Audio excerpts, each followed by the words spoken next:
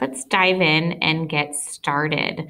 Um, I'm going to suggest that the first tour you build today is just kind of a play tour to play around, um, that you don't actually work on your actual Taste of America project. I find that's the best way to kind of um, learn technology, but up to you.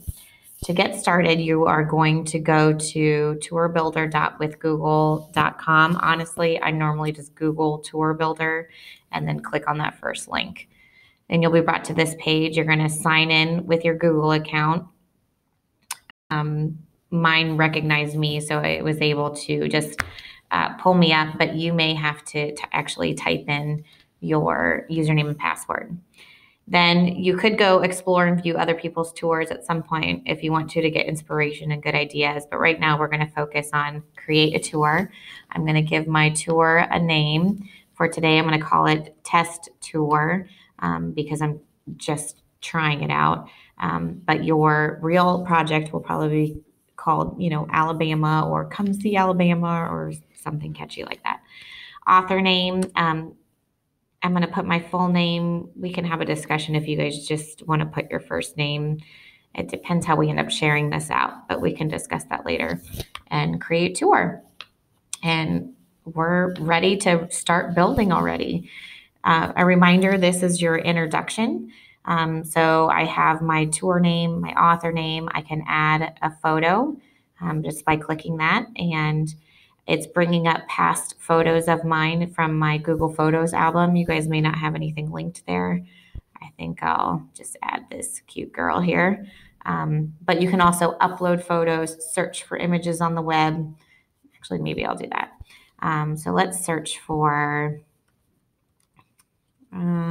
let's do Ohio flag. Let's do like a sample Ohio tour, I guess. That one looks good. And that's going to be the introduction of my um, tour. Um, and here, down here in this box is where I can start building um, my introduction. Welcome to Ohio.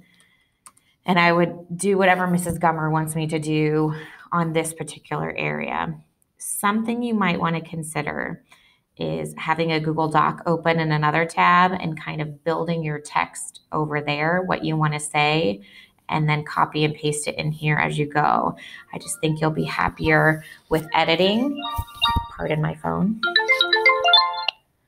I think you'll be happier with editing and saving, and it'll just be a smoother workflow. So, once again, that's open a Google Doc just on your own, build all your text there, and paste it in when you're ready. And all we've done so far is just build the introduction. You know, this would have more if I ever wanted to link a website.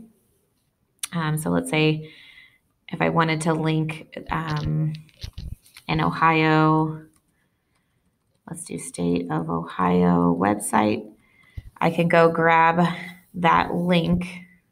So, for example, um, for your things. Like if you had Cedar Point, if you were studying Ohio and it was one of your um, stops, you could link Cedar Point's actual website.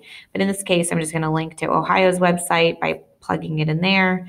And now when my uh, guests are viewing my tour, they can click on that and go to that website. Um, when you're all done, this saves automatically. So I could leave here and come back in um, there was that button that said My Tours to catch up and keep working.